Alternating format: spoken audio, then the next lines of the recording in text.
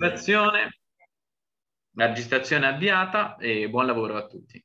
Grazie. Allora, innanzitutto scusatemi perché avevo letto la pagina sbagliata del programma e pensavo fosse 45, quindi iniziamo, iniziamo benissimo. Vi ringrazio, ringrazio la Cisco per aver accettato um, il, nostro, il, nostro, panel, ringrazio Chiara Giorgi per aver accettato di fare da discussant a, a questo panel, eh, un ruolo particolarmente ehm, utile per noi perché si tratta di un panel di ricerche in corso anche in stadi eh, iniziali, per, ad esempio nel mio caso in, in particolare. Ehm, si tratta appunto, vi dicevo, di, di, ricerche, di ricerche in corso, il cui tema eh, principale è quello dell'affermazione dell'universalità dei diritti sociali come cifra della grammatica politica, in particolare nella seconda metà del Novecento. Quindi non si tratta di un progetto di ricerca, il nostro, che riguarda eh, la storia del welfare state italiano da un punto di vista eh, istituzionale, ma piuttosto di un'indagine sul rapporto tra i diritti di cittadinanza eh, e i diritti sociali e sull'uso politico che viene fatto eh, nel corso del Novecento eh, sui, ehm, dei, dei, diritti sociali. Um, abbiamo ciò che, che, hanno in comune tutte le relazioni all'interno di questo, di questo panel è la prospettiva di analisi transnazionale, sebbene il cuore uh, tematico del, delle nostre indagini sia il caso italiano, sia, sia l'Italia. E inoltre abbiamo scelto di dare al panel una prospettiva di lungo periodo eh, ed è per questo motivo che all'interno del panel appunto abbiamo scelto Uh, insieme di dare spazio appunto a questo intervento che sarà il primo intervento, quello di, di Samuel Boscarello, sulle società di mutuo soccorso, uh, sul ruolo delle, delle società di mutuo, di mutuo soccorso. Uh, cedo subito la, la, parola a Samuel Boscarello, che è appunto l'autore di questo, di, questo, paper, di questo intervento. Samuel è uno studente di dottorato della Scuola Normale Superiore di Pisa il suo intervento si intitola Forgiare i diritti sociali, cooperatori e politica nell'Ottocento italiano. Prego Samuel. Grazie mille. Buongi- un momento. Sì, sì, no, il problema è semplicemente, dato che siete nella stessa casa, se Boscarello e Serina tengono entrambi acceso l'audio, c'è l'altro. Esattamente, infatti abbiamo risolto e abbiamo passato le, le cuffie. Pardon. Allora, grazie mille innanzitutto. Eh, comincio subito. Eh, comincio subito dal 1977, quando un giurista cecoslovacco, Karel Vasak, pubblica un paper che si chiama uh, Human Rights a 30 Year Struggle, una lotta trentennale, in cui Vasak propone per la prima volta una uh, interpretazione storica dell'evoluzione dei diritti umani che poi sarà molto fortunata in seguito. Sostanzialmente esistono tre generazioni dei diritti umani. La prima, diritti civili e politici che vengono consacrati dalla rivoluzione americana e francese. La seconda quella dei diritti sociali, economici e culturali che invece emergono nel corso dell'Ottocento con l'industrializzazione e poi la terza, quella dei diritti relativi alla solidarietà internazionale, ad esempio il diritto allo sviluppo, che emergono dopo la seconda guerra mondiale. Ora, soprattutto negli ultimi anni, la storiografia sta problematizzando questa classificazione, soprattutto per quello che riguarda il rapporto tra diritti sociali e civili politici, cioè non sembrano essere più che altro una seconda generazione che si innesta sul terreno preparato dalle, dai primi ma invece qualcosa che nasce contemporaneamente ai primi. Eh, Charles Walton nel 2019 ha evidenziato come già dalle primissime fasi della rivoluzione francese, dopo il giuramento della pallacorda, l'agenda politica dell'Assemblea nazionale sia anche occupata da temi di rilevanza sociale, ad esempio come organizzare, se organizzare le distribuzioni di cibo agli indigenti e così via dicendo. Ora, se noi sposiamo questo punto di vista, ci risulta davvero impressionante come eh, lo spazio tra l'affermazione dell'idea dei diritti sociali e dei linguaggi dei diritti sociali e la loro concretizzazione in policy, cioè l'apertura di spazi di opportunità politica per realizzarli, sia veramente, cioè ci sia uno iato impressionante perché il primo sistema di assicurazioni sociali obbligatorie dotato di una certa coerenza e così via viene uh, creato un secolo dopo praticamente nella Germania di Bismarck Nel corso di questo secolo è interessante vedere come eh, i linguaggi, l'idea dei diritti sociali sia un, un, fiume classico che scorre sotto la superficie delle vicende politiche europee eh, e emerge in certi momenti in cui la finestra delle opportunità politiche eh, si apre, sembra aprirsi eh, e soprattutto porta con sé vari affluenti, cioè varie tematiche che sono, possiamo dire, tre all'incirca.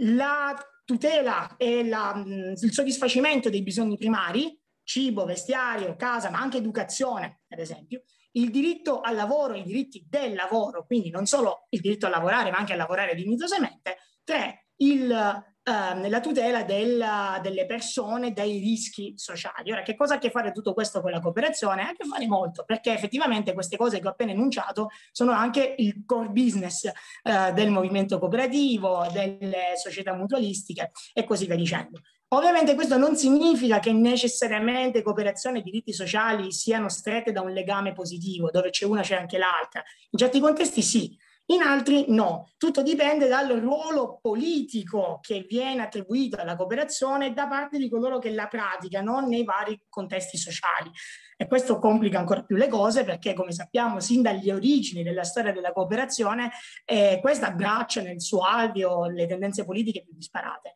Questa eterogeneità si riflette in maniera plastica nelle vicende del 48 europeo, che in molti paesi aprono degli spazi di sperimentazione politica davvero eh, senza precedenti, di cui la cooperazione si avvantaggia a, a piene mani. Vediamo in particolare le vicende di eh, due territori che sono geograficamente vicini ma molto diversi per appunto le vicende che vivono in questo eh, periodo di tempo. Il Regno di Sardegna e la Francia. Nel Regno di Sardegna la cooperazione si uh, avvantaggia indirettamente della nascita e soprattutto della sopravvivenza dello Statuto Albertino, il quale, riconoscendo la libertà d'associazione, comincia a creare un habitat favorevole allo sviluppo di autonome istituzioni di mutualismo.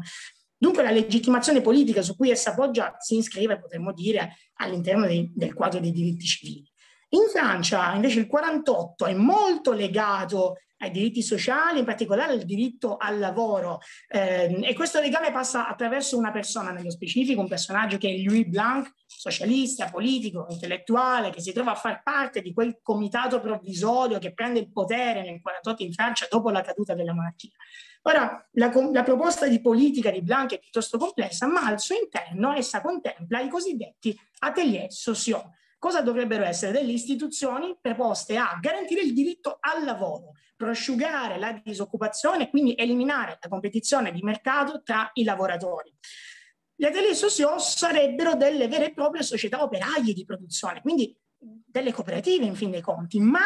fortemente sostenute dallo Stato, anche in senso finanziario. Quindi nell'idea, di Blanc c'è questo binomio cooperazione-Stato che si sorreggono a vicenda per garantire dei diritti sociali. Ora, nel 48 si apre effettivamente una finestra per la realizzazione di questa idea, anche perché a Parigi c'è un grosso problema di disoccupazione di massa, soprattutto di operai qualificati e via dicendo. Il neonato Ministero del Lavoro, di cui però Blanc non fa parte,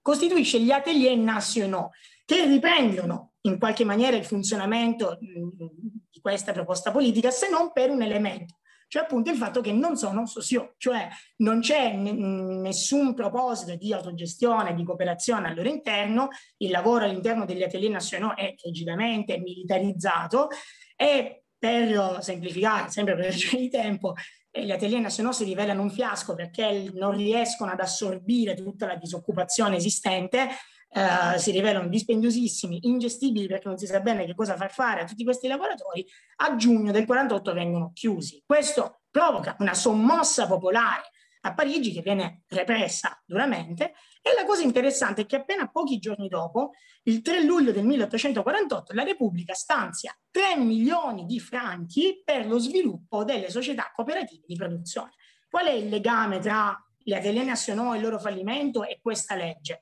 Sicuramente c'è l'intento di voler ricostituire una forma di consenso popolare, di consenso operaio, ma c'è anche un altro tema, cioè il fatto che dopo, nel, nel, nel momento post-repressione, le cooperative cominciano a essere intese e utilizzate come strumento di educazione degli operai al mercato. Vale a dire, se non c'è lavoro per tutti, se i salari non possono essere alzati oltre un certo, un certo limite, non è colpa del datore di lavoro, è il mercato che funziona così. E le cooperative diventano un mezzo mm, di pedagogia anche mm, paternalistica, se vogliamo, che e questa cosa eh, la si riflette benissimo in un bel libro di Maria Grazia Merigi che si chiama L'invenzione della classe operaia, in cui appunto con dovizia di fonti eh, archivistiche viene descritto proprio questo, questa consapevolezza da parte di coloro che mettono in moto questo processo. Ora, questa è affascinante innanzitutto vedere come eh, nel giro, nello spazio di pochi mesi, il, legame tra cooperazione e diritti sociali può essere così stretto e allo stesso tempo così quasi conflittuale, quasi confliggente, eh, come l'esito di luglio ci racconta. Ora, nei decenni successivi, non solo in Francia, questa seconda visione della cooperazione come strumento pedagogico, come strumento educativo, eh, mh, si afferma in misura maggiore, anche per il trauma del 48 francese, che in, un, in, una qualche maniera a lungo si imporrà come il paradigma negativo. Io mi sono imbattuto in un libro nel 1872, scritto da il nostro collega, lo storico Gustavo Strafforello, è un libro sull'educazione economica degli operai, è rivolto agli operai. E Strafforello parla a un certo punto dei diritti, quali siano i diritti dei lavoratori. Sostanzialmente i lavoratori hanno il diritto a essere liberi, a non essere asserviti in schiavitù. Tuttavia non può esistere il diritto al lavoro che è definito, cito testualmente, quel grande assurdo economico che i francesi tentarono di mettere in pratica nel 1948 e che andò a finire, come andrà sempre, nella guerra civile e nella dissoluzione sociale. Effettivamente in Italia, spostano sull'Italia che è più il topic del, del panel, in Italia la classe dirigente liberale, che pur in misura crescente vede di buon occhio la cooperazione dopo l'unificazione d'Italia, continua a vedere la cooperazione come soprattutto uno strumento educativo ehm, per rendere insomma, i ceti popolari autosufficienti, risparmiatori, secondo i più progressisti anche per educarli all'esercizio eh, della democrazia e della libertà. Eh, diventa una sorta di categoria del nation building sostanzialmente, eh, nonché anche un modo, dal punto di vista della classe dirigente liberale, per ricomporre una soluzione, se non la principale soluzione, per ricomporre il conflitto sociale senza chiamare in causa l'intervento dello Stato provvidenza, sostanzialmente. Eh, anche l'inchiesta Franchetti-Sonnino del 76 sulla Sicilia eh, non si discosta da queste medesime categorie, sebbene spenda parole importanti sulla cooperazione e sui rimedi cooperativi. Tuttavia, proprio in Sicilia eh, avverrà un incontro molto innovativo e molto particolare nuovamente tra cooperazione e diritti sociali. Questo avviene tra la fine degli anni 80 e soprattutto negli anni 90. È una congiuntura di, in cui si contrappongono diverse crisi per il nostro paese, agraria, finanziaria, edilizia, eh, lo scandalo della banca romana e via dicendo. Queste crisi si amplificano soprattutto in Sicilia per, a causa del fatto, insomma, tensioni irrisolte che vanno avanti da decenni, soprattutto nel campo della riforma uh, agraria. Ma succede anche un'altra cosa, cioè che un segmento importante dell'elite intellettuale siciliana si radicalizza sempre di più. Prendo un caso nello specifico, che è Giuseppe Salvioli, eminente giurista che insegna all'Università di Palermo, che negli anni Ottanta viene in contatto con gli studi giuridici di un collega austriaco, Anton Menger, che è uno dei rappresentanti del cosiddetto socialismo giuridico, come lo chiamano Engels e Kautsky in maniera anche un po' con sufficienza. Ecco, queste nuove idee vengono assorbite da Salvioli, eh, il quale nel 1890 tiene un discorso all'Università di Palermo eh, sui difetti sociali del codice civile. Eh, cioè nell'ordinamento giuridico italiano non ci sono leggi a protezione dei cedi meno abbienti, sostanzialmente. Queste nuove idee permeano la coscienza politica di una nuova generazione eh, di trentenni che non hanno vissuto le vicende del risorgimento e che quindi non sono più attratte da quelle parole d'ordine, ma da queste nuove idee e anche appunto dall'idea dei diritti sociali, questi nuovi diritti. Questo processo, questa emersione la si vede perfettamente tra il 1892 e il 93, quando emerge il movimento dei fasci siciliani, uh, che porta con sé anche l'emersione di una nuova leadership politica, la quale imprima al movimento una certa linea direttrice e proprio all'interno delle sedi dei fasci avverrà un nuovo connubio, almeno in due forme davvero innovative tra cooperazione e diritti sociali. La cooperazione è una delle principali attività che vengono condotte all'interno dei fasci e si mescola con i, con i diritti sociali nel senso che viene nuovamente ripresa, ripreso il tema di garantire, di espandere i diritti sociali attraverso la cooperazione. Faccio un esempio, eh, Rosario Garibaldi Bosco, leader del fascio di Palermo, va in giro a dire alla stampa e ai giornalisti che i, i membri dei fasci hanno diritto all'assistenza sanitaria gratuita, a una mutua assicurativa sulla vita, all'educazione. È una tematizzazione nuova per il contesto siciliano, ma anche mm, per molti sensi anche per il contesto italiano. Inoltre c'è anche un secondo tema che è davvero molto eh, interessante, cioè all'interno dei fasci le antiche rivendicazioni contadine post-feudali, potremmo dire, si trasformano per mezzo anche della cooperazione in nuovi diritti del lavoro veri e propri. Uh, la feudalità in Sicilia viene liquidata negli anni 10 dell'Ottocento, con essa gli usi civici, quei diritti collettivi che vengono esercitati dalle uh, comunità contadine sui terreni sostanzialmente. La legge teoricamente prevede che per compensare la perdita degli usi civici, parte dei terreni ex feudali debbano essere quotizzati sostanzialmente. Eh, il punto è che questa cosa non viene fatta spesso dai comuni a causa dell'ostruzionismo dei latifondisti. Ecco, il tema delle quotizzazioni entra all'interno di uno, cioè è uno dei principali punti di conflitto all'interno del movimento dei fasci siciliani. Tuttavia, proprio durante queste vicende politiche, comincia a trasformarsi, queste rivendicazioni cominciano a trasformarsi in qualcos'altro. Lo si vede perfettamente nell'operato di Napoleone Colaiani, deputato di, dell'attuale Enna,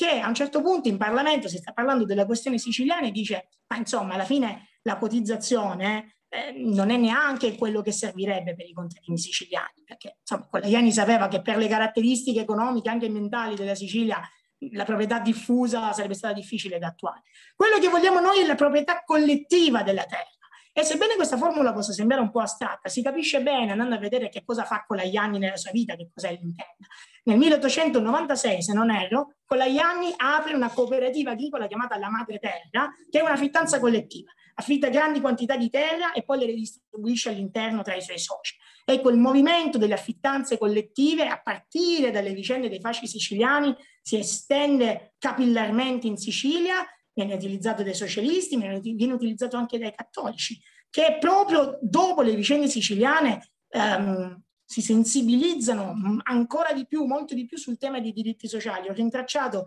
una lettera aperta che viene scritta da un lettore della rivista internazionale di scienze sociali del Tognolo, che viene pubblicata sul giornale, e in cui alla fine questo lettore dice, ma in fondo nel futuro Stato cristiano non dovranno essere garantiti anche questi diritti sociali. Quindi ecco che segmenti crescenti della società italiana si sensibilizzano a quest'idea. Vado verso la conclusione e ehm, ricordando in realtà, evocando solamente il fatto che in realtà per il, perché questi linguaggi si trasformino in politiche vere e proprie deve ancora passare un po'. L'Italia entra nella prima guerra mondiale con un certo ritardo sulle politiche sociali rispetto agli altri grandi paesi europei, la mobilitazione di massa della prima guerra mondiale apre l'opportunità per colmare il gap, tuttavia l'avvento del fascismo bloccherà e in certo senso cambierà anche natura a questo, a questo, processo che si sta mettendo in atto, ma qui mi fermo, rimando al bel libro della professoressa Chiara, Giorgi Ilaria Pavan, Storia dello Stato sociale in Italia, che parte proprio dalla Prima Guerra Mondiale. Soprattutto lascio la parola alle mie colleghe. Grazie mille per l'attenzione. Spero di essere stato nei tempi verissimo nei tempi, grazie, grazie Samuel. Eh, ora mi prendo, mi prendo, la parola, del, è il mio momento, abbiamo scelto di dare un ordine cronologico ai, ai, nostri, ai nostri, interventi. Eh, il titolo del, del, mio intervento è Il laboratorio italiano, welfare pianificazione nella transizione alla democrazia. Eh, si tratta di un progetto di ricerca che nasce da un progetto più ampio sul rapporto tra eh, tecnici e politica eh, nella storia dell'Italia, dell'Italia repubblicana, che eh, nell'ultimo anno ho sentito l'esigenza di rimodulare eh, sulla base di alcune letture Uh, storiografiche che hanno avuto un valore epifanico rispetto a questo tipo di, di ricerca. La prima è la raccolta degli scritti di Eugenio Colorni, eh, stata, a cui è stato aggiunto un, un nuovo volume di recente, ehm, curato da Luca Meldolesi e Nicoletta Stame, e all'interno di, questo, di questa raccolta di scritti di Eugenio Colorni, no, uno degli autori del manifesto di Ventotene, c'è questa lettera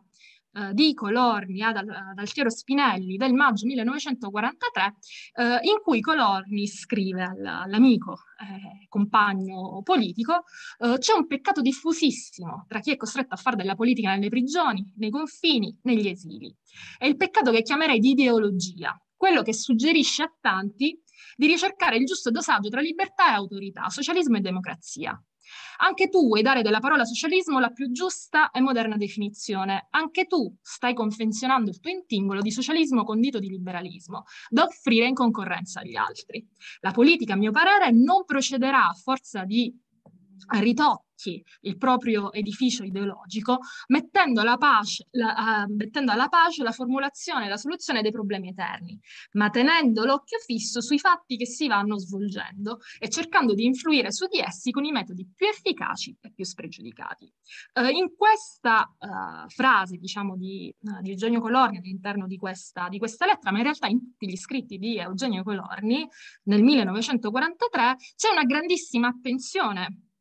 a come sarà la politica Uh, dopo la guerra e soprattutto al valore di svolta uh, che è stato rappresentato dalla, uh, dalla, guerra nel cambiare il linguaggio, nel cambiare la grammatica politica anche e soprattutto al, al, di fuori, al di fuori dei partiti. In questo discorso ci sono un po' tutti i temi che avevo appunto intenzione di affrontare in questo lavoro su tecnici eh, e politica, che sono innanzitutto quello dello, sper- dello sperimentalismo in politica contro il settarismo ideologico. Uh, questa idea dell'importanza della collaborazione tra tecnici e politici uh, nel nome della programmazione e della pianificazione eh, politica e l'idea dell'importanza di diritti sociali nel coinvolgimento uh, nel coinvolgimento politico delle, delle masse. Ehm, ed è in, diciamo, la riflessione riguarda quello che Albert Hirschman, un tecnico, un economista, cognato di eh, Colorni e Spinelli, avrebbe definito l'atteggiamento del possibilismo, no? cioè questo atteggiamento di rimozione di tutte le gabbie, eh, di tutte le gabbie mentali e ideologiche nell'approccio eh, alla politica appunto di sperimentalismo Uh, continuo. Um, dicevo, sono tutti i temi al centro di questo lavoro di ricerca che avevo, a, che avevo pensato che mi hanno costretta a riformulare uh, questo progetto di ricerca, uh, innanzitutto agendo sulla periodizzazione. Um, c'è un saggio, una raccolta di saggi di Mariuccia Salvati del 2016 che si intitola Passaggi italiani dal fascismo alla Repubblica, in cui la storica uh, invita uh, le, le, le, nuove generazioni di storici a riconsiderare la periodizzazione del, dell'età contemporanea, provando a rimuovere no, tutte quelle eh, gabbie eh, periodizzanti tradizionali, resistenza, eh, fascismo, eh, repubblica, e a provare ad includere nella narrazione della transizione alla democrazia proprio gli anni della crisi, proprio quell'abisso di cui parla Eugenio Colorni nei suoi scritti, proprio il momento,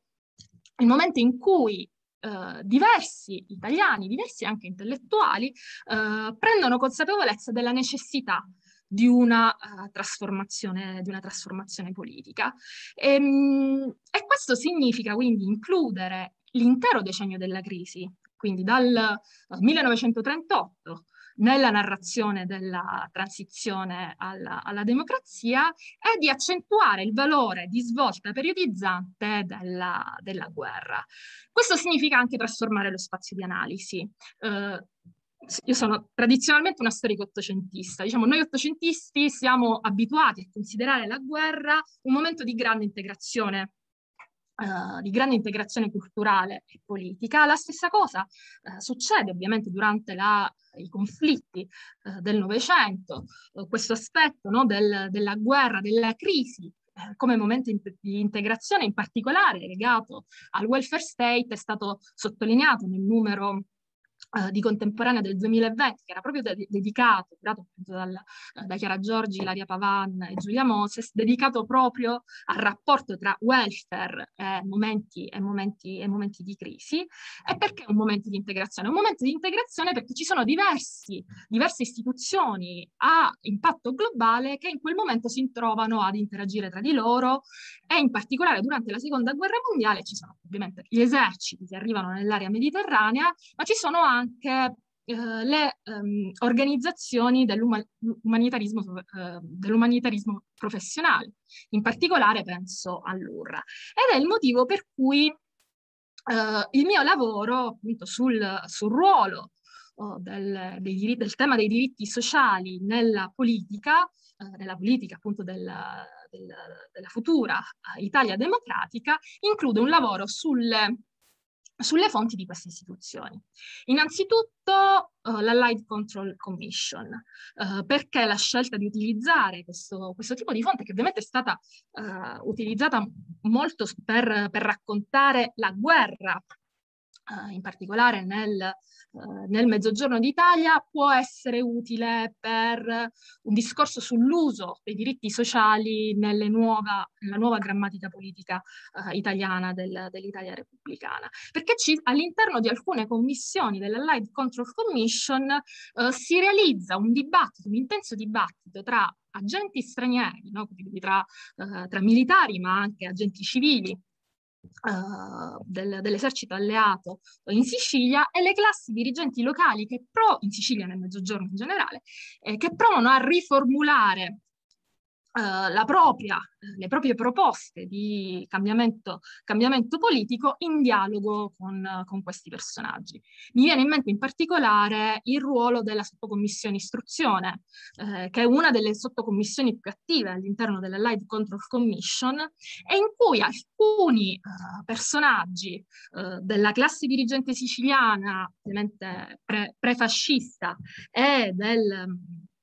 del, del, dell'esercito americano interagiscono eh, nell'idea di trasformare l'Italia e il Mezzogiorno in particolare in un laboratorio di democrazia. Eh, se si leggono um, le relazioni, la corrispondenza che è conservata all'interno del fondo della Light Control Commission, eh, c'è una grande progettualità che riguarda in particolare la scuola, eh, in cui si fa eh, una grandissima attenzione al tema, per esempio, della scuola democratica di Dewey. Uh, scuola democratica, um, idea della scuola nuova, della scuola democratica di Dewey, che è stata per esempio ampiamente studiata per quel che riguarda l'esperienza di di Firenze o delle scuole nuove di, uh, di Codignola, uh, ma, che sarebbe, ma che è interessante anche studiare in relazione, in relazione a Mezzogiorno uh, per vedere come la scuola e la scienza in questo momento venga considerata un nuovo alleato della, appunto della, uh, della politica, della politica post, post bellica. Um, gli intellettuali e i tecnici, abbiamo detto, vengono ampiamente coinvolti in questo processo di rimodulazione eh, del linguaggio politico. Questo era stato particolarmente evidente negli Stati Uniti con eh, i discorsi di Harry Wallace e del presidente Roosevelt rispetto all'era dell'uomo comune, no? questa idea del, del nuovo mondo che sta per nascere, il cui protagonista è appunto l'uomo comune, il lavoratore, eh, lo studente, eh, la donna, ehm, o nel discorso del for freedom, eh, delle, delle, quattro libertà eh, di Roosevelt, che erano stati diffusi proprio grazie al ruolo di intellettuali, di artisti in quel caso, che avevano prodotto una grande quantità di eh, di illustrazioni, di poster che servono al, all'ufficio di guerra americano per proporre questa, uh, questa nuova uh, progettualità politica. Non si tratta ovviamente di una, mh, semplicemente di un'influenza esterna, comunque di, un, di un'imposizione dall'alto, Uh, di questo modello che fa del, del welfare uh, il, cuore, il, cuore, pulsante di questo modello politico, uh, ma si tratta di un dialogo, di un dialogo, di un dialogo che è possibile leggere all'interno degli epistolari dei protagonisti di questo tempo. Vi dicevo tecnici, tecnici come quelli per esempio che lavorano all'interno dell'URRA. Ehm, in particolare mi sembrano molto interessanti da questo punto di vista appunto i documenti dell'URRA e gli epistolari ad esempio di Chini, Chini è uno degli, degli osservatori eh, della, missione, della, prima missione esplorativa in Italia, che è stata studiata da Silvia Salvatici, eh, sul... Um, la prima missione esplorativa in Italia del, dell'URRA e all'interno del, del, suo epistolario con altri agenti che provengono da diverse parti del mondo ma anche con diversi personaggi protagonisti dell'azione dell'URRA in Italia e italiani eh, è possibile vedere qual è la proposta politica che viene elaborata da questi tecnici ehm, che è innanzitutto una proposta politica fortemente antipartitica. Eh, in particolare eh, questo tipo di atteggiamento antideologico e antipartito che dà valore preponderante alla dimensione sperimentale eh, dell'azione, dell'azione, politica, transiterà in alcune figure che saranno protagoniste eh, della storia politica del, dell'Italia repubblicana e che proporranno no, la cosiddetta terza for- forza rispetto eh, ai partiti di massa, tra tutti ovviamente Adriano Olivetti che transita all'interno, all'interno dell'URRA o, uh, uh, o, Riccardo, uh, o, Riccardo, Musatti. Eh, Riccardo Musatti che è uno dei principali esponenti del meridionalismo. Bene, la mia ricerca, eh, la mia intenzione è quella di proseguire seguendo i profili biografici di questi, di questi personaggi per cercare di comprendere qual è il loro contributo alla nuova proposta politica del, dell'Italia, dell'Italia dell'Italia Democratica. Eh, credo di aver esaurito il tempo e quindi do la parola a Elena Serina, che è l'autrice del, uh, del, terzo intervento di questo, di questo panel, uh, è studentessa della scuola di dottorato in Global History and Governance della Scuola Superiore Meridionale di Napoli Federico II e, um, e il suo intervento guarderà proprio al secondo dopoguerra, quello che succede negli anni del secondo dopoguerra e si intitola Per un'assistenza cattolica, Chiesa e diritti sociali dal secondo dopoguerra al Concilio Vaticano II.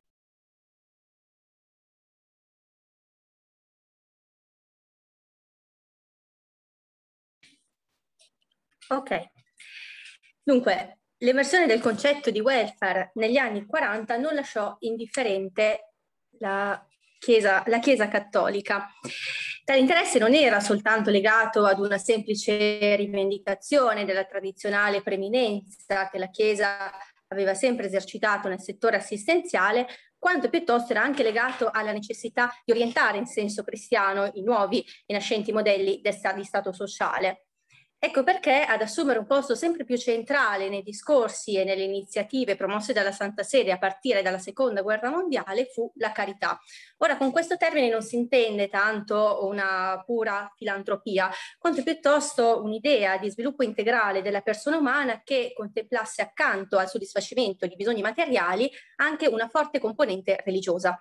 E quindi indagare l'assistenza vaticana si rivela una chiave interpretativa innovativa anche per comprendere il rapporto, il confronto della Santa Sede e del mondo cattolico verso i nascenti sistemi eh, di welfare. Proprio durante il conflitto, in effetti, Pio XII intensificò il proprio apparato caritativo che arrivò ad imporsi come un polo assistenziale sostitutivo, in effetti, alle esauste e ormai malfunzionanti istituzioni pubbliche assistenziali e nel corso della guerra emerse un inedito protagonismo cattolico proprio nel settore assistenziale che se da un lato avvicinò concretamente i cattolici alle nuove problematiche socio-economiche dell'età contemporanea, dall'altro favorì sicuramente anche un aggiornamento eh, da parte della Chiesa proprio del modo di gestire la carità.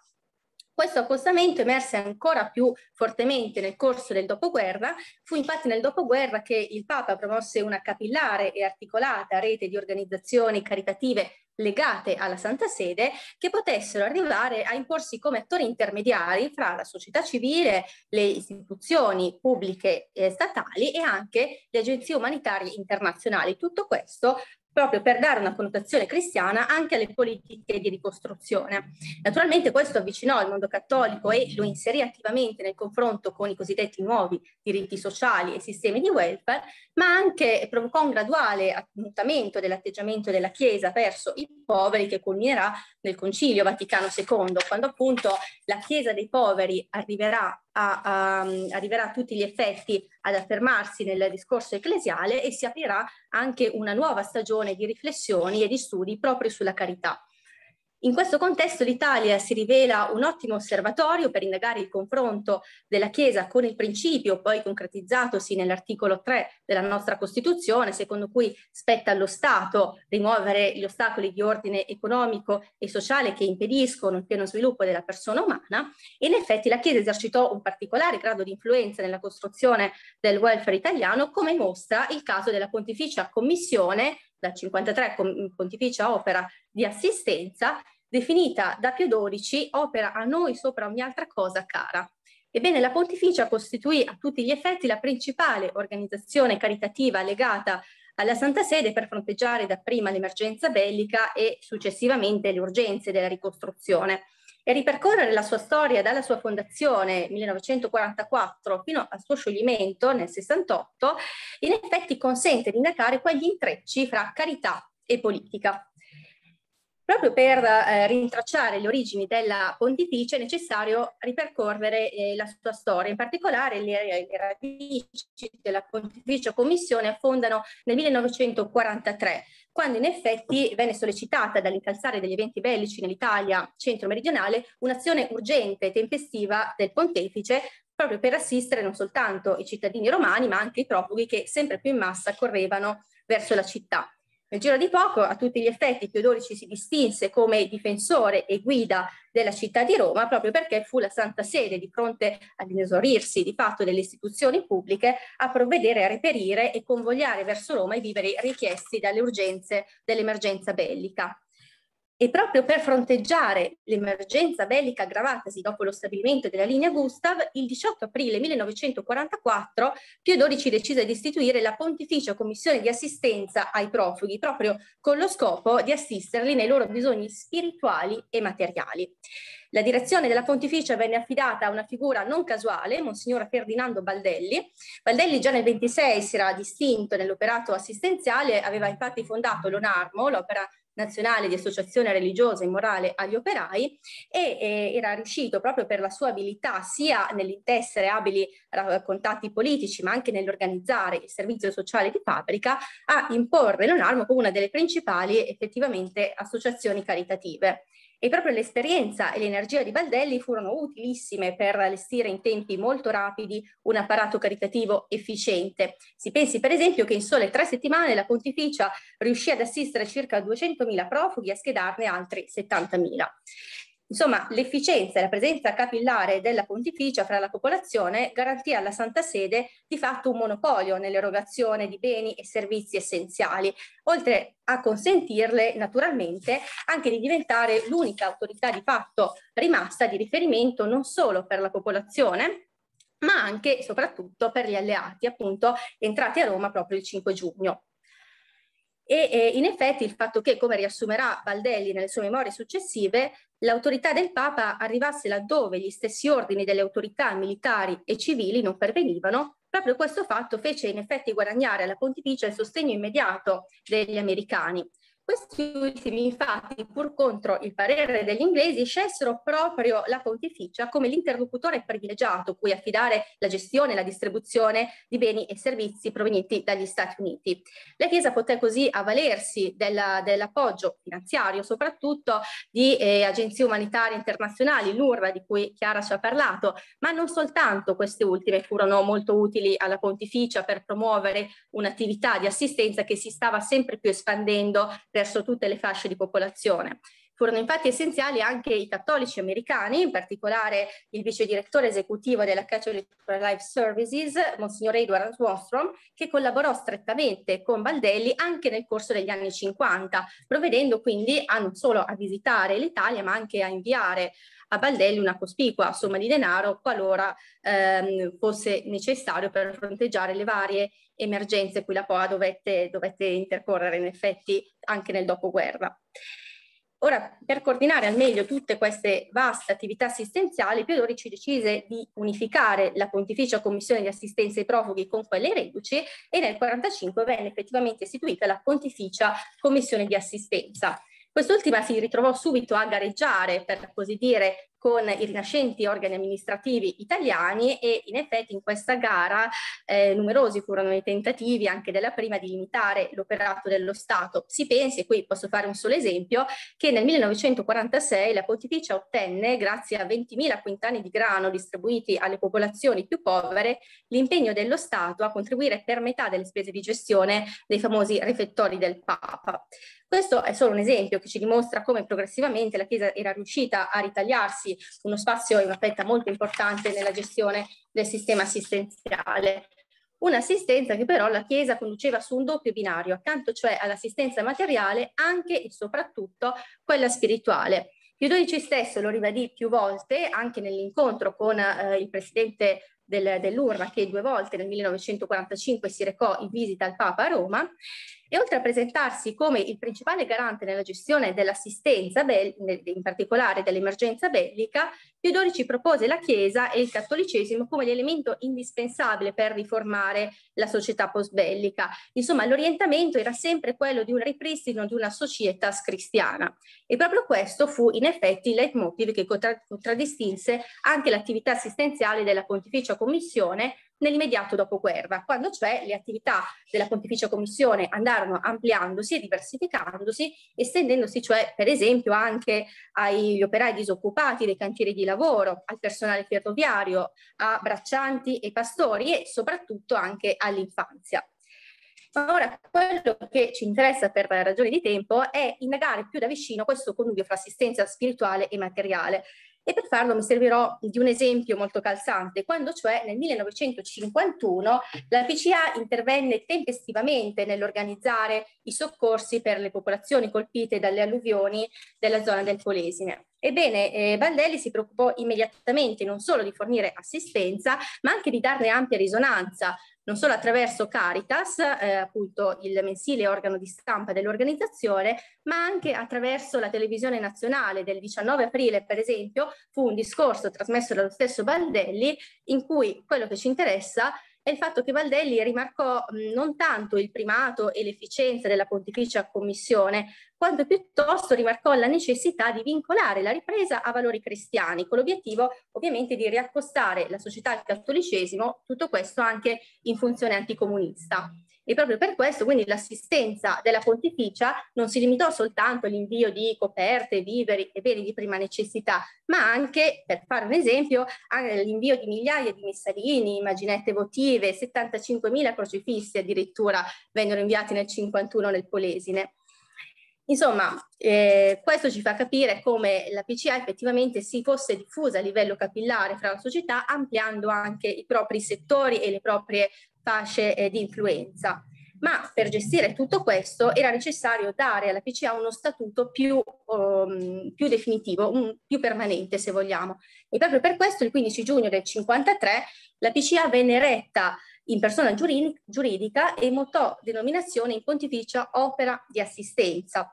Questo non è un dettaglio, diciamo, perché il riconoscimento giuridico marcò in effetti un decisivo turning point nella storia dell'assistenza vaticana e riconobbe come organo permanente, sempre legato alla, strettamente legato alla Santa Sede, un organo eh, di carità del Papa, che avesse quindi il compito, accanto all'assistenza materiale, di propagandare anche quel ripristino di valori cristiani nella società e di orientare quindi eh, anche le, le politiche sociali in questa direzione. Questo ripristino cristiano in realtà sottintendeva un'altra questione centrale nel dibattito cattolico. Eh, scusa un minuto. Sì, di quegli anni, eh, vale a dire appunto il ruolo, il rapporto fra la dottrina sociale della Chiesa e i cosiddetti nuovi diritti sociali. Ora, accanto all'ala più intransigente, a cui lo stesso Baldelli faceva riferimento, che cioè, per dirla molto in breve, rivendicava la preminenza della carità sul diritto, emerse infatti un'altra ala e che si affermò sempre più progressivamente negli anni 50 e eh, di quest'altra ala possiamo citare eh, padre Raimondo Spiazzi, una, um, un delegato regionale della POA, e il suo esempio è significativo per farci intuire quelle sfaccettature che esistevano anche all'interno della pontificia opera di assistenza che non va letta quindi come un unico blocco uniformemente legato alla visione tradizionale della carità. Ebbene, Spiazzi proprio nel convegno eh, dei delegati eh, della PO del 54 intervenne sostenendo che il compito dello Stato moderno era proprio quello dell'assistenza pubblica.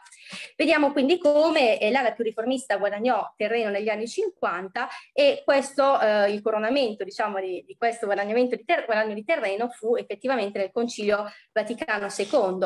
il scioglimento della PO nel 68 fu sintomatico effettivamente del clima post-conciliare, il tipo di assistenza della PO ormai era inadeguato ai nuovi bisogni sociali ed effettivamente essa non era più quello strumento di conquista e di espansione che era stato negli anni 50. E qui chiudo scusandomi per il leggero ritardo. Ok, diamo allora ora la parola a Silvia Einaudi, assegnista di ricerca alla Scuola Normale Superiore di Pisa. Il suo intervento si intitola Povertà, welfare e diritti sociali in Italia, due inchieste a confronto. Vai Silvia.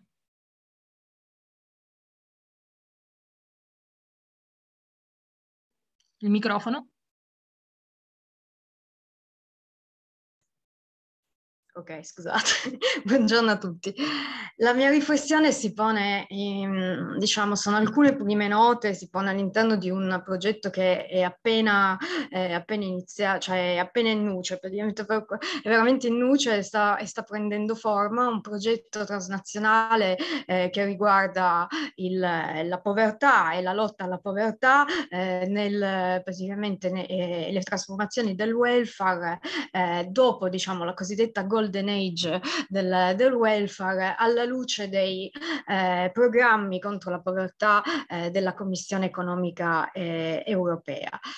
Ehm, in questo caso ho deciso appunto di portare una brevissima riflessione critica sulla, eh, prendendo eh, a, eh, diciamo, confrontando due inchieste eh, sulla povertà che sono separate appunto da un periodo eh, trentennale, che sono quindi l'inchiesta parlamentare sulla miseria in Italia dell'inizio degli anni 50 e il rapporto sulla povertà in Italia che è edito nel che è stato mh, sulla povertà in Italia del 79-80, edito poi nell'82, curato da Sara Pellon, che è stato appunto prodotto per iniziativa eh, della comunità economica europea proprio eh, all'interno del, eh, del, primo programma eh, europeo di contrasto alla povertà.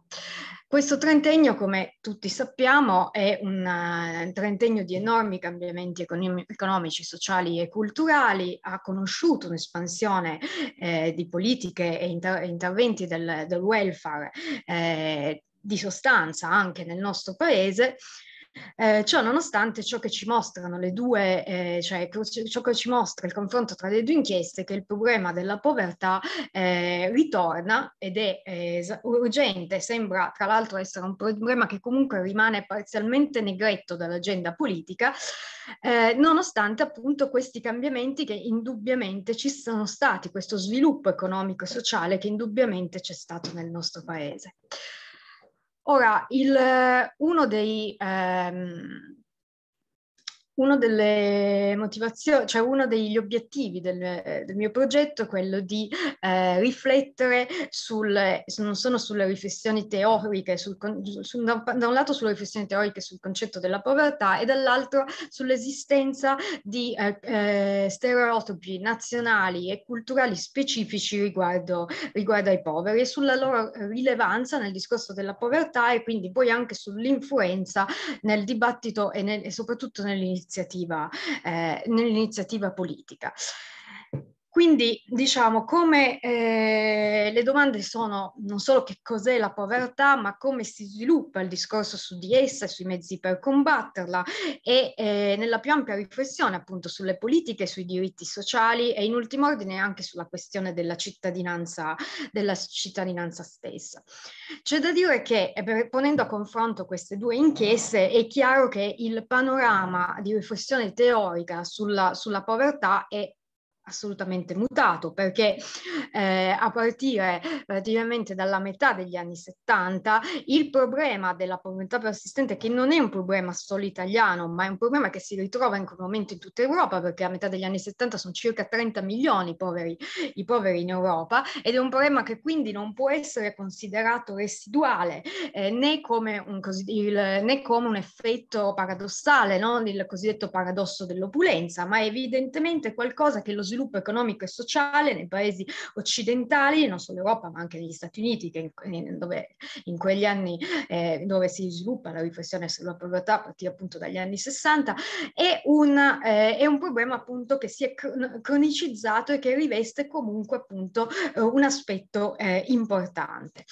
Eh, negli, a partire dalla metà degli anni 70 ci sono studi famosi che tutti noi conosciamo, quelli di Senn, quello di Townsend, che sono fondamentali per archiviare almeno a livello di riflessione teorica, se non politica, la stagione della spiegazione antropologica della povertà, ovvero che le cause della povertà abbiano le loro basi nella cultura stessa dei, dei poveri, ma anche per andare oltre ad una nozione economicistica della povertà assoluta e, di, e, a una nozione di povertà relativa intesa come soggetto di sentimenti individuali di deprivazione. Il, eh, la seconda inchiesta, lo vedremo, in realtà partirà a fare proprio tutto questo, questo bagaglio per elaborare una definizione molto più complessa di cos'è la povertà e dei mezzi che eh, bisogna appunto eh, porre per, per combatterla. Dal punto di vista teorico non è quindi paragonabile eh, l'inchiesta parlamentare miseria, sulla miseria dell'inizio degli anni 50 anche per lo scarso sviluppo, come sappiamo, delle scienze sociali nel panorama italiano ed è evidente che l'inchiesta sulla, eh, sulla miseria risente della visione monodimensionale della povertà che dal punto di vista degli studi eh, quantitativi viene definita ancora in termini economici assoluti, anche se il dislivello praticamente tra il, tra le, eh, il dislivello macro-regionale, in particolare tra l'Italia centro-settentrionale e il meridione, fa sì che i parlamentari e i tecnici chiamati per eh, analizzare il fenomeno eh, stemperino diciamo, il riferimento al reddito come, eh, come, ehm, eh, diciamo, come valore su cui misurare la povertà con un'adozione di indicatori reali eh, che, eh, quali ad esempio eh, i dati sulle abitazioni, i consumi alimentari eh, e, l'abbigliamento, in modo da dare una eh, rappresentazione più efficace del, del dualismo italiano. L'inchiesta sulla miseria l'hanno eh, sottolineato in tanti, per primo Braghin, poi Forgers, anche sul, sull'ultimo lavoro sulla marginalità, non è esente da stereotipi eh, sui poveri e sicuramente mo- a molti tratti più descrittiva che, eh, che prescrittiva, c'è una carenza di analisi sulle cause eh, che costituisce probabilmente, è stato evidenziato, il suo principale limite. Per gli storici comunque è un documento preziosissimo per la conoscenza delle condizioni di vita dell'epoca e secondo me una, una sua rilettura, nonostante i limiti, eh, si presenta molto più ricca di stimoli di quanto diciamo, gli faccia credito, in particolare la trasposizione del dibattito politico dei risultati dell'inchiesta a partire da quella relazione generale dove viene affermato che le cause della miseria sono sempre le stesse, ozio, ignoranza, malattia, inabilità fisica e psichica, proprio in quest'ordine. O anche nel, nel film che poi è stato... Eh, che è stato girato diciamo, come, come complemento alla, all'inchiesta, eh, le parole dello stesso, dello stesso Vigorelli, il presidente della commissione d'inchiesta del socialista Alessio Vigorelli, che afferma che mentre la povertà è una condizione dello stato economico, la miseria è più profonda, ha caratteri sociali e perfino morali, si riconosce nell'accattonaggio, nel sudiciume, nell'ignoranza, nella prostituzione, nel delitto, è un problema che ha, sempre in quest'ordine, cause personali e cause, e cause sociali. È chiaramente un tono completamente diverso da quello che si eh, riscontra nel rapporto degli anni Ottanta, che appunto può avvalersi di un background decisamente più affinato di, definiz- di riflessioni teoriche, di strumenti di analisi, e che si presenta alla fine di un periodo di cambiamento socioculturali imponenti che hanno contribuito a ridefinire in termini politici generali la questione delle diseguaglianze e dell'emarginazione sociale. Il rapporto dell'80 adotta una definizione multidimensionale della, po- della, povertà in allineamento con le linee guida europee, una dif- definizione che pur partendo comunque da una dimensione necessariamente quantitativa, perché in qualche modo la povertà deve essere misurata, contempla la povertà come un insieme di mancanza di risorse tale da, non solo da precludere un livello di vita considerato dignitoso rispetto al momento storico-sociale, ma da escludere famiglie intere categorie dalla partecipazione alla vita sociale. È praticamente una definizione che si, che si rifà alla riflessione teorica che viene detta, dettata, che viene adottata dalla comunità economica europea e che porta poi a, ridef- a ridefinire nel corso dei, pur con qualche polemica, nel corso dei tre programmi europei, la povertà in termini di esclusioni sociali, cioè un termine che eh, praticamente eh, sottolinea il fatto che la povertà sia un,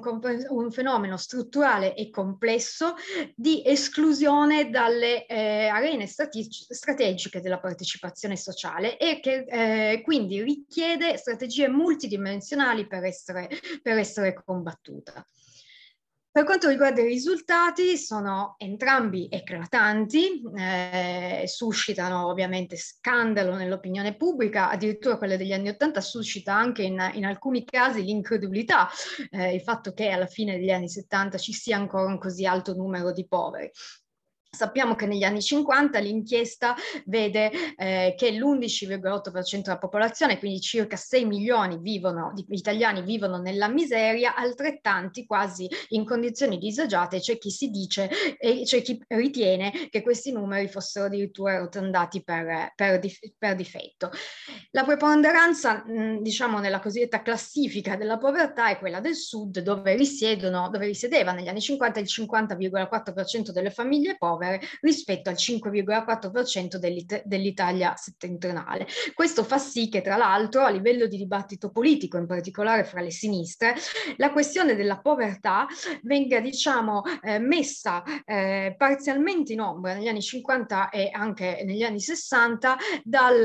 eh, dalla preeminenza della discussione del dibattito politico sulla questione dello sviluppo economico eh, ed, eh, all'interno della questione meridionale, piuttosto che eh, su quella dello sviluppo del welfare.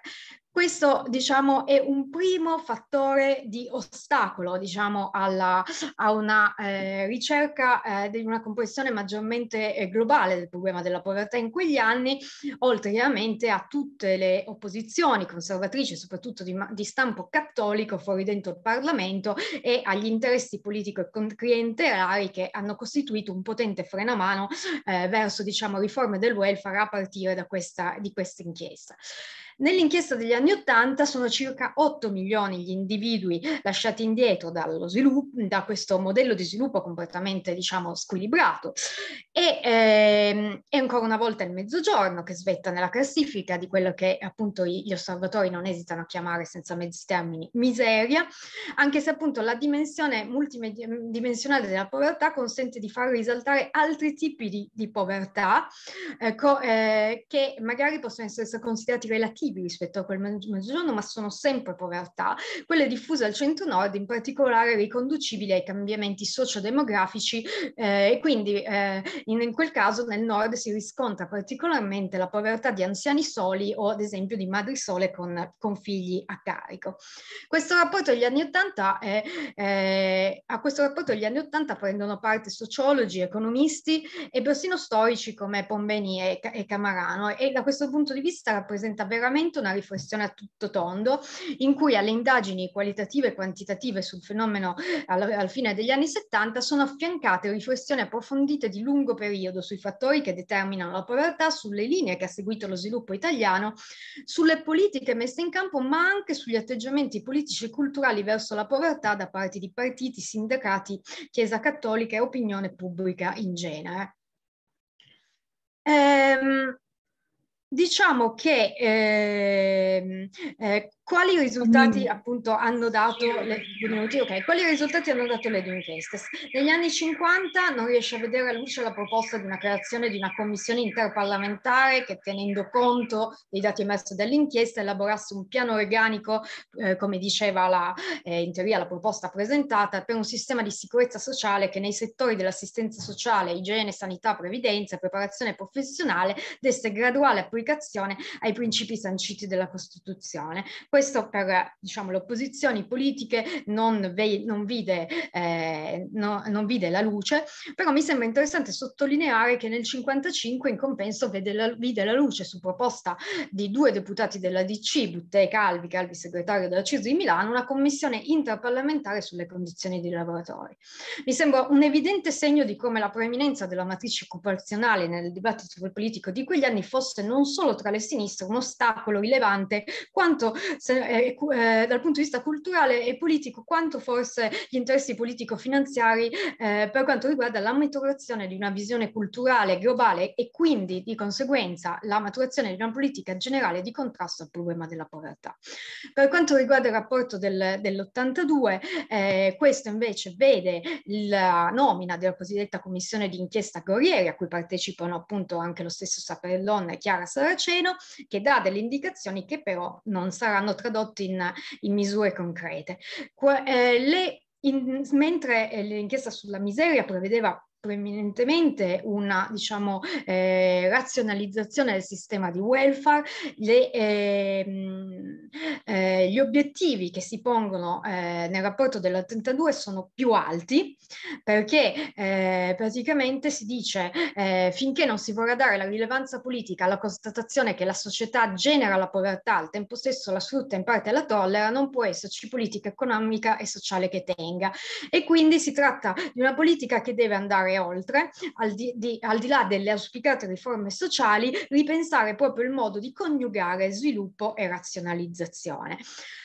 Eh, quali sono i, eh, diciamo, eh, i due principali... Tempo, però, eh? mm? Scusa? Abbiamo finito il tempo. Ah, eh, vabbè, chiudo dicendo che secondo me ci sono due elementi di continuità, uno è il peso del sistema di welfare e l'altra è la, eh, diciamo, la propensione alla politica a correlare le prestazioni sociali a un'interpretazione economicistica dei rapporti eh, sociali e alla, quindi alla lotta contro la disoccupazione e alla responsabilizzazione individuale per uscire dalla povertà e all'indipendenza, anche nel dato dell'82, che questo quindi condiziona il dibattito politico e ciò praticamente da qui parte secondo me la diffidenza italiana verso il dibattito su misure di lotta alla povertà che vadano oltre la condizione economicistica della cittadinanza, quale ad esempio il reddito di cittadinanza, quello vero. E mi, mi taccio.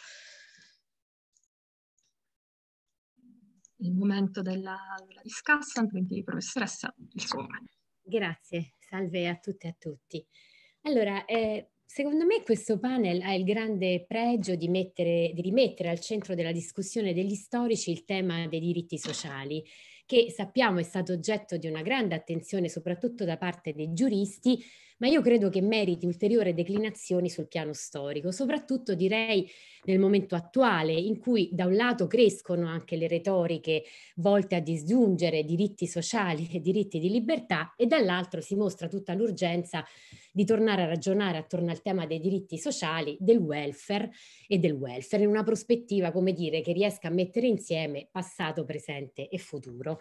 Ora, il tema dello Stato sociale effettivamente è tornato molto a essere al centro del dibattito, delle politiche, dopo anni in cui le sue ragioni eh, costitutive si erano smarrite, un po' schiacciate da politiche di, eh, di, di contenimento eh, e eh, diciamo eh, da, ehm, in, da, da, da, soprattutto in nome dell'austerità e del mercato, un esempio un po', visto che è stato citato, di quelle retoriche reazionarie che metteva in luce tanti anni fa Hirschman nelle sue sue analisi eh, relative alle resistenze al cambiamento sociale. Ecco, dai contributi al panel emerge con molta chiarezza come lo studio dello Stato sociale si presti e dei diritti sociali, lo prendo un po' eh, in senso più eh, esteso, poi ci torno, eh, si presti non solo a essere uno studio interdisciplinare, eh, ma soprattutto un, in ambito storico uno studio che chiama in causa una molteplicità di protagonisti e una pluralità di piani di interpretazione. Di fatto, come si evince dai contributi, a fianco delle incompiutezze, delle contraddizioni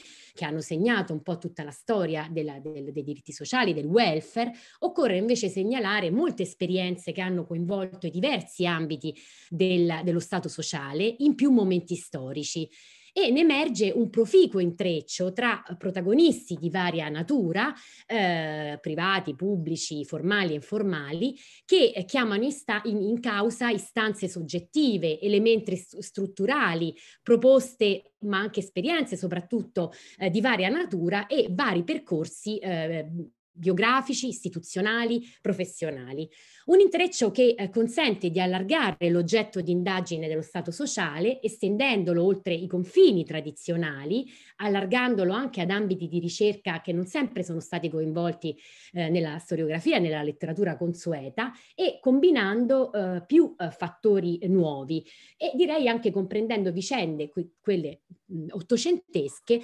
capaci di arricchire un po' il quadro d'insieme, ma anche i dettagli di questa vicenda.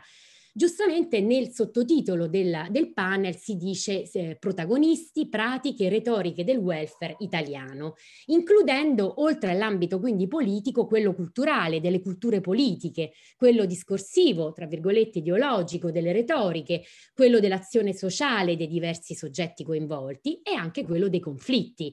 Eh, mi sono tornate in mente, devo dire, eh, le, leggendo e ascoltandovi, eh, le preziose indicazioni eh, di Pietro Costa in un saggio del 2017 relative all'importanza di una metodologia di lavoro che eh, analizzi, che guardi allo stato sociale come un prodotto di pratiche e saperi, eh, diciamo che usi una metodologia quindi capace di ricostruire le cosiddette esperienze welfariste come la risultante di un insieme di pratiche, saperi, apparati separate istituzioni, è chiaro che c'è il rinvio alla lezione di Foucault e in particolare anche al concetto di governamentalità, ma credo che diciamo mi, mi è proprio venuto in mente ascoltandovi. In fondo anche nella ricostruzione che abbiamo fatto con Ilaria Pavan della storia dello Stato sociale in Italia, l'intento è stato un po' di ricostruire il quadro sociale, economico, politico, istituzionale al, delle, delle esperienze attorno al welfare, dando conto non solo dei provvedimenti, eh, anche un po' noiosi, ma anche delle culture politiche che ne sono state alla base, dell'azione sociale dei vari soggetti coinvolti, dei conflitti attorno alle politiche di welfare, dei protagonisti protagonisti istituzionali, politici, eh, culturali, appunto, che vi presero parte nella convinzione che andasse seguito e vada seguito un approccio interdisciplinare di storia istituzionale, sociale, politica, culturale, economica e di genere eh, e anche nella convinzione, come emerge da, dalle vostre relazioni, che eh, siano centrali anche eh, tentativi, esperienze di riforme, di discussione, anche se poi non giungono a, con- a esiti concreti, a esiti appunto immediati, ma comunque che incidono in modo carsico e che comunque hanno rilevanza rispetto allo sguardo eh, degli storici. Uh, infine un'ultima considerazione e poi mi soffermo rapidamente sui uh, vari uh, paper. Allora, generale questa considerazione che riguarda a mio parere la profonda connessione, è stato diciamo richiamato contro anche interpretazioni evoluzionisti, eh, penso soprattutto a Marshall per primo, quindi la profonda connessione tra storia dei diritti sociali e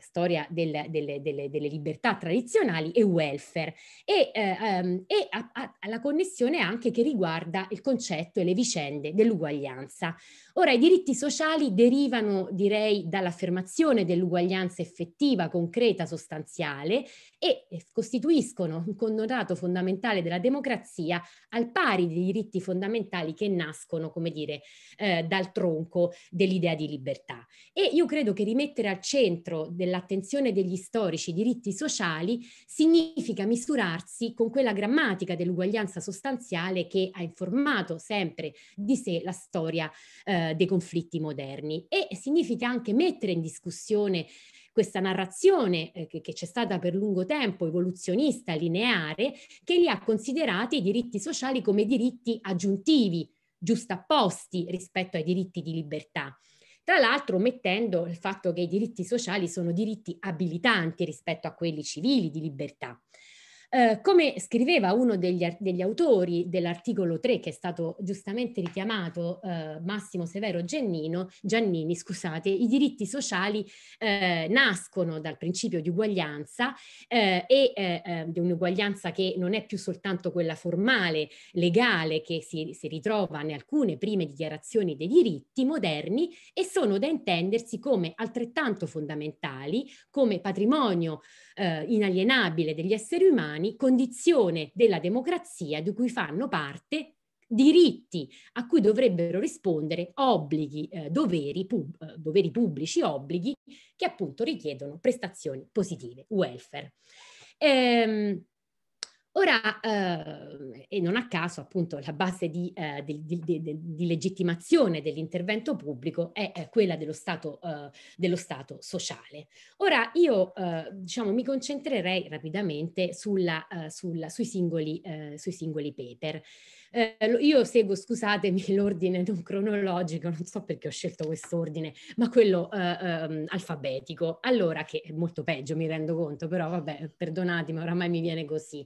eh, Boscarello. Sono eh, molto favorevole eh, a non considerare eh, le esperienze mutualistiche e eh, cooperativistiche come una storia a parte, eh, separata, addirittura arretrata rispetto a quello dell'intervento pubblico sociale, che anzi si è giovato di queste esperienze o comunque ha intessuto con queste, come, come, come Boscarello fa ben vedere, un rapporto talvolta conflittuale e talvolta complementare.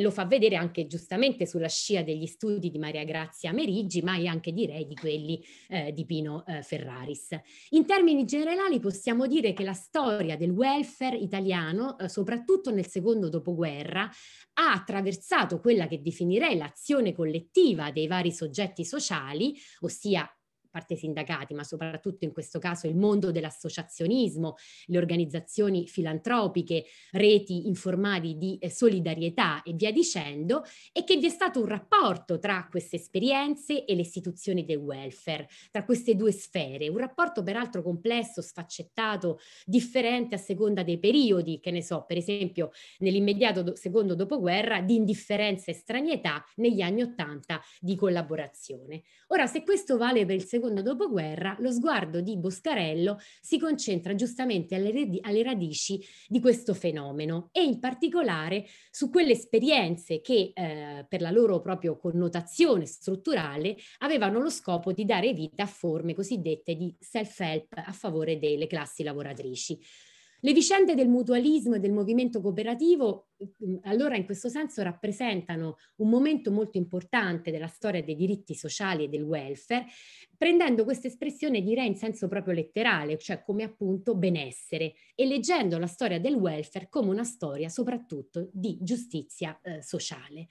Resta che le vicende, come anche eh, egli metteva in evidenza, le vicende del mutualismo siano segnate da eh, elementi contraddittori, eh, da elementi di ambivalenza, nella misura in cui si diceva bene, disincentivarono forme di intervento pubblico a favore delle cosiddette classi subalterne o viceversa consentirono l'affermazione di alcuni diritti sociali, soprattutto nel caso della Francia, nell'agenda politica e pubblica eh, accrescendo eh, la consapevolezza dei lavoratori e creando strumenti affinché essi potessero far fronte ai propri bisogni, autotutelarsi rispetto ai gravi disagi della propria condizione lavorativa, auto-organizzandosi contro le prime forme mm, distruttive, chiamiamole così, del capitalismo. E in questo è molto interessante il paragone che Boscarello fa tra Italia e Francia. Peraltro sappiamo che la Francia nella Costituzione, ma entrata in vigore giacobina del 93, annoverava annoverava i diritti sociali. Eh, anche l'atteggiamento delle classi dirigenti è a mio parere significativo perché oscilla tra un riconoscimento eh, per lo più confinato eh, però all'ambito dei diritti civili e che quindi spesso si traduce, diceva anche lui, in termini di deresponsabilizzazione eh, oppure un atteggiamento di opposizione quando di solito vengono mina- minati gli equilibri di classe e si rafforza il movimento operaio. Quindi direi che l'ambivalenza è molto interessante ed è un tratto costitutivo del movimento cooperativo e del mutualismo e si lega anche al ruolo conflittuale che, eh, oppure o, me, o, meno che, questo, eh, che le varie associazioni di mutuo soccorso hanno avuto. E eh, nasce anche, eh, insomma lo ricordiamo come un fenomeno a cavallo tra filantropia e prime forme di organizzazione del movimento operaio e eh, diciamo eh, con tutto quello che ne consegue rispetto alla finalità politica che prevale, se più paternalistica, filantropica oppure più orientata a principi e a pratiche di uguaglianza e solidarietà. E sono molto d'accordo, come dice Boscarello, che l'Italia è un caso estremamente interessante proprio per la compresenza di tendenze politiche eterogenee all'interno del movimento cooperativo. Eh, certo è che nell'esempio che, che, che, che Boscarello eh, riporta, eh, si, chiamiamolo l'esempio siciliano per, per, per rapidità, eh, che eh, diciamo rivendica, anche a cui lui fece riferimento, no? rivendicare i diritti all'assistenza e all'istruzione, forme di contrattazione, come dire, sindacale, forme di eh, regolamentazione del lavoro, ecco, io direi che questo rappresenta una soglia molto avanzata del, delle, delle rivendicazioni sociali e in fondo ci mostra questa stessa natura cultura politica eh, intensamente politica, come scrisse un giurista, dei diritti sociali, come diritti eh, che eh, sono contrassegnati da eh, un elemento sicuramente di pretensività, ma anche di redistributività. E, eh, e quindi, eh, diciamo, io forse quello che vorrei che, che lui indagasse maggiormente è come queste esperienze di auto-organizzazione siano connesse a, tra virgolette, il farsi della classe operaia e come siano cioè connesse ai processi di soggettivazione, eh, dal momento che si trattò di esperienze intraprese oltre che dagli operai, artigiani, donne, contadini per autoamministrarsi, dotandosi quelle che potremmo definire istituzioni nuove, comuni di solidarietà, mutuo, mutuo sostegno, economia sociale e eh, affermando anche in esse la propria soggettività, le proprie stanze di emancipazione. E poi lo, lo inviterei, diciamo, a indagare ancora come si sia evoluta, lui giustamente citava il fascismo, questa storia successivamente, eh, e insomma è un po' un invito a scriverne una, una, una, una diciamo, storia di più ampio respiro e eh, sul lungo periodo, perché credo che sia più che mai importante eh, Silvia Inaudi. Allora, io ho eh, molto apprezzato questo confronto, Silvia, tra le due inchieste, chiamiamole l'inchiesta e il rapporto, e anche eh, la, quella successiva eh, eh, che, che, io forse conosco di più, cioè la commissione eh, Gorrieri, che però, come giustamente affermi tu, è legata al rapporto. E, e, e questo ci consente, tra l'altro, di affrontare questo grande tema della povertà che è diventato, diventato pure, pure esso mh, oggetto eh, molto importante oggi nel dibattito eh, pubblico, ma anche in quello scientifico. Penso all'ultimo bel volume di Chiara Saraceno, Benassi e Morlicchio dedicato proprio al regime di povertà, come viene chiamato italiano. Uh, quello che credo che ci sia da evidenziare, uh, come tu stessa adesso dicevi, uh, in questo confronto sono i due contesti molto diversi in cui si collocano inchiesta e rapporto. Um, eh, e le, soprattutto la diversa formulazione della, del tema e del, del, problema della povertà. Infatti gli elementi di, di differenza, eh, cioè, chiamiamoli, attengono alle diverse strutture economiche so, economiche e sociali di un'Italia contadina degli anni 50 e di un'Italia, eh, dell'Italia molto diversa eh, degli anni eh, 70, inizi anni 80. La povertà a cui si, ci si riferisce nell'inchiesta sulla miseria è quella che deriva soprattutto, direi, da una realtà agricola eh, arretrata e la povertà invece successiva a cui ci si riferisce nel rapporto è eh, quella dell'Italia degli anni 70, eh, di una realtà urbana sempre più post-industriale. La prima quindi si situa in un contesto connotato da una, da una, realtà familiare stesa, in cui per esempio le donne presenti sul mercato del lavoro non sono ancora molto poche. Nella seconda i poveri sono soprattutto coloro che sono ai margini del mercato del lavoro, disoccupati o esclusi cosiddetti comprese le stesse donne che oramai sono sempre più presenti, eh, povere, in alto numero eh, in, in, in, sul, sul mercato del lavoro. È anche diverso il rilievo dello stesso mercato del lavoro, no? nelle modalità di ottenimento di condizioni di vita dignitose. Prima le condizioni strutturali, agricoltura, autoproduzione, capacità di autosussistenza, avevano un ruolo molto eh, rilevante. Col, eh, insomma, successivamente la causa di princi- principale di povertà, direi, è ricondotta alla insufficienza di reddito ottenuto sul mercato del lavoro. Certo, ciò che resta costante, che Silvia ha avuto solo il tempo eh, di accennare, entrambe, per entrambe le realtà è la mancanza di politiche di welfare a sostegno del reddito dei bisognosi. Come sappiamo, e lo sappiamo e lo risappiamo, il welfare, e lo vediamo tutt'oggi, il welfare italiano rimane segnato dall'assenza di misure adeguate al sostegno al reddito dei senza lavoro, dalla prevalenza nota, arcinota dei tratti occupazionali e, ribadirei, dalla debolezza dei servizi sociali. E lo stesso modello Beveridge, che prevedeva misure di reddito minimo unitario, eh, di fatto mh, rimane molto debole. La garanzia di un reddito sufficiente eh, ad affrontare le responsabilità che, eh, che, incombono su ogni essere umano, nel cittadino nel corso della propria vita, resta in Italia subordinata anche nei programmi delle forze politiche di sinistra e del sindacato alla predilezione per il comparto, lo sappiamo, compensionistico, con la conseguenza di forti ritardi in queste misure di sostegno al reddito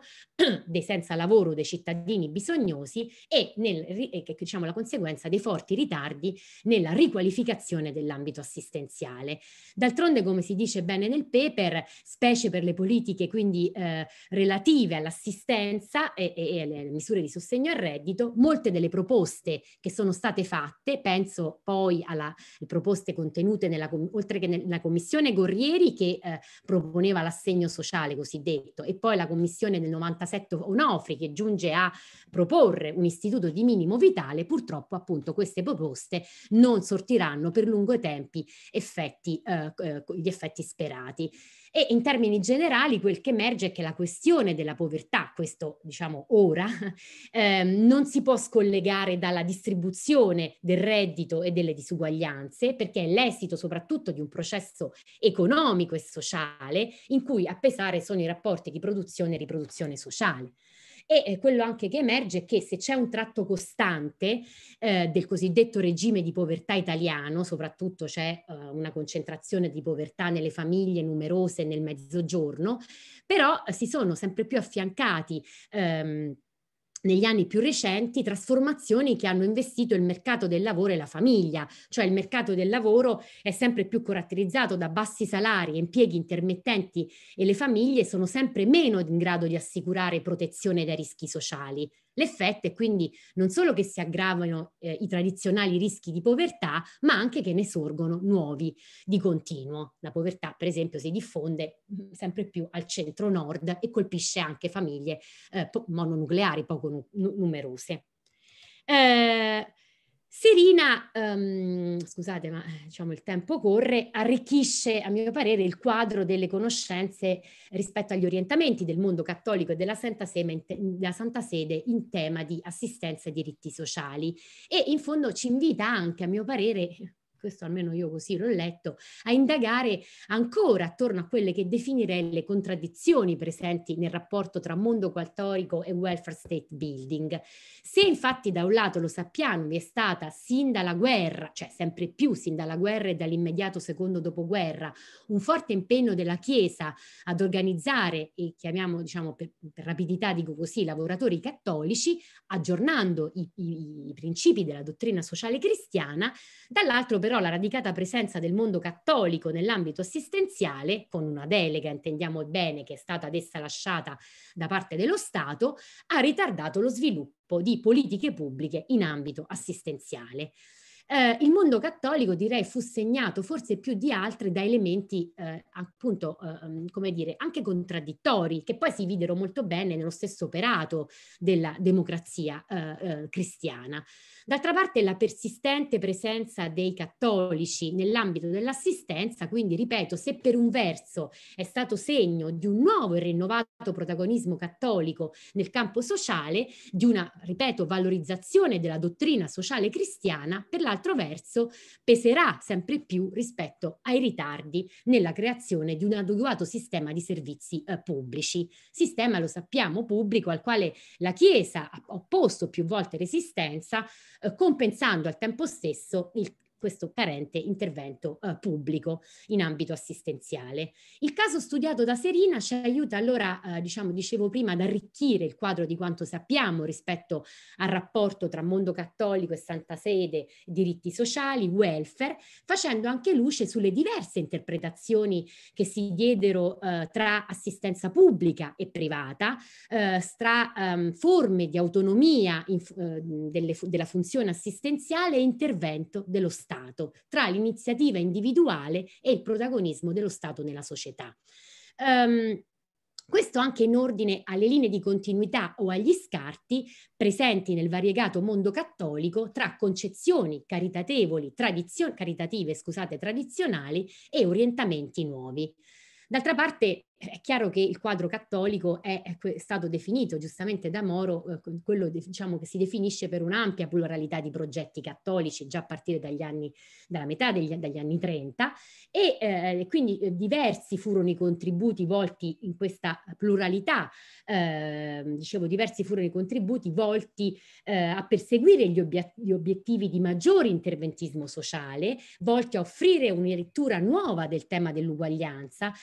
volti a prefigurare i caratteri di una nuova eh, eh, eh, democrazia sociale e volti anche a affermare la centralità del personalismo, grande tema chiave di allora. Di allora. Um, e eh, io credo quindi che per certi aspetti il retaggio della dottrina sociale cattolica, espressasi eh, ad esempio nell'avanzata elaborazione del codice di Camaldoli del 43, poi come è stato ricordato da Serina in sede di assemblea costituente, così come la spiccata marcata sensibilità di ampi settori del mondo cattolico che si accresce nel periodo bellico e soprattutto post-bellico, orienterà eh, sempre di più parte di esso in direzione di un maggiore impegno sociale, nella direzione di una eh, significativa mobilitazione territoriale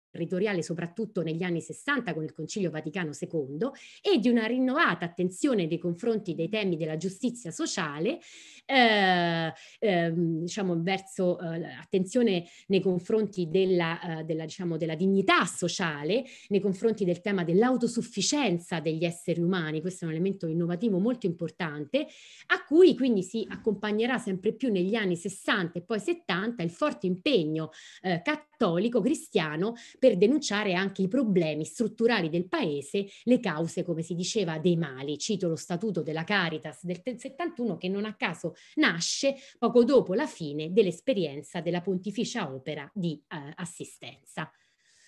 E, e infine eh, vengo a Pulvirenti. Ecco, io di Pulvirenti sottolineerei due elementi importanti perché diciamo il terzo non c'è tempo e quindi lo taglio. Um, perché Pulvirenti ci, eh, è in continuità un po' con, se, con Serina per certi aspetti perché ci spinge ad andare alle origini di alcuni dei progetti più ambiziosi di cambiamento sociale che presero forma durante la seconda mon guerra mondiale e direi già durante, come dice lei, anzi gli anni 30, quando in relazione alla grande grande questione della crisi di civiltà europea, maturarono in ambienti diversi, giovani cattolici, ma anche molti giovani giuspubblicisti, eh, eh, nuovi orientamenti rispetto alla necessità di una trasformazione profonda economica e sociale del paese. Da questo punto di vista, le stesse basi della nuova formazione dell'edificio democratico, di una democrazia... Scusate se intervengo giusto due secondi, solo per dire che abbiamo non di più del tempo fino all'una e cinque.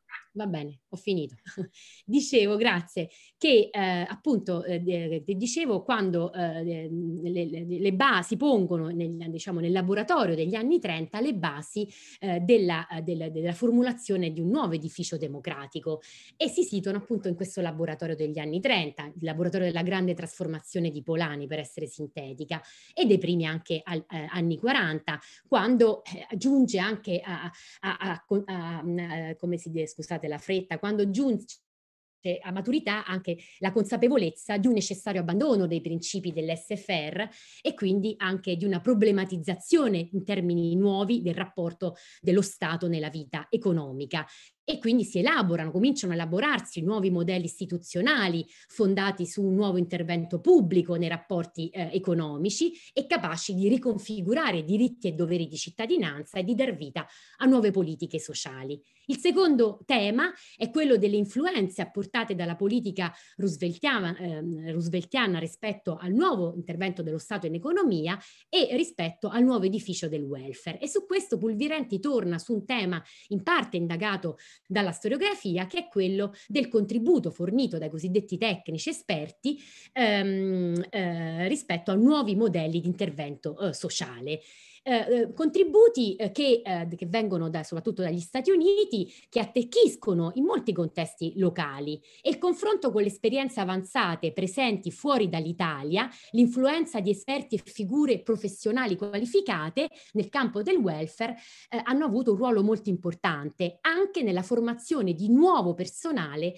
impiegato nelle cosiddette agenzie pubbliche di welfare, anche il grande tema delle culture dell'amministrazione. Ecco, io credo quindi che questo questo nuovo modello di intervento ehm, che si delinea subito dopo la seconda guerra mondiale o durante quel periodo prenda forma da questa interazione che coinvolge tanto eh, gli esperti tecnici, anche alleati, quanto i nuovi soggetti che si trovano nelle condizioni di bisogno. Certo, poi bisognerebbe indagare questa, eh, che poi è la tensione dello Stato sociale, cioè quanto, ci, cioè quanto tutto questo stia a metà tra anche logiche di eh, controllo, integrazione, pacificazione e quanto sia anche il portato dell'estendersi dei eh, programmi di welfare. Eh, concludo, mi piacerebbe soffermarmi sul grande tema della prima, ma soprattutto della seconda guerra mondiale, ma su quello, diciamo, soprattutto il contesto inglese ci insegna molto, ringraziando molto Chiara Pulvirenti e tutti, e tutti i partecipanti e i relatori eh, per eh, averci, avermi costretto a riflettere, a cercare ancora, come diceva Claudio Napoleoni, su questo tema, perché io credo che questo sia davvero un tema eh, che, ci, diciamo, che ci apre a sfide importanti sia del presente eh, sia eh, del futuro. Quindi vi ringrazio moltissimo. Il tempo per qualche risposta telegrafica. Samuel? Vuoi iniziare? Il microfono. Come sempre, guarda, succede sempre. Eh, innanzitutto grazie mille per le suggestioni. Eh, il punto è naturalmente il tempo è poco, però eh, già nella mia ricerca sui fasci, naturalmente una ricerca in progress che fa parte di un progetto di ricerca che ha un respiro più ampio, una periodizzazione che in realtà parte proprio dal 48 e finisce fino a, alla fine del secolo praticamente, eh, si, si, comincia a vedere anche andando a studiare a livello micro l'esperienza dei fasci in che maniera c'è un processo di autoapprendimento dei meccanismi della cooperazione da parte degli operai stessi. E non solo degli operai, perché per esempio uno dei principali esponenti del movimento cooperativo siciliano è un ex impiegato comunale, Bernardino Verro, e si capisce proprio in maniera plastica come questi effettivamente inizialmente fanno un sacco di errori, non tengono conto delle, dei calcoli attuariali quando fanno le mutue assicurative e così via, ma nel corso degli anni, diciamo, tra repressione di costituzioni, un, un, atteggiamento anche appunto abbastanza ambivalente da parte delle autorità eh, che in certi contesti reprimono, in altri contesti avvantaggiano pure e così via, eh, effettivamente imparano a mettere su forme di cooperazione eh, sempre più complessa. Po- vorrei poterne parlare molto più a lungo, però toglierei spazio a, insomma, alle mie colleghe, per cui perdonatemi. Caso, per qualunque cosa contattatemi via email, sui social e così via e ne parliamo quanto vogliamo. Silvia? Vai Silvia. Eh, ringrazio Chiara delle, delle, delle osservazioni che, e, e a tu, quelle a tutti perché veramente come al solito fa un quadro globale eh, preziosissimo. E, ehm, e sì, eh, no, il tempo è stato, è stato, tiranno, io credo veramente che la questione della povertà sta, eh, sia stata dagli storici, dagli storici italiani in particolare, su, eh, analizzata molto poco e che per comprendere eh, mh,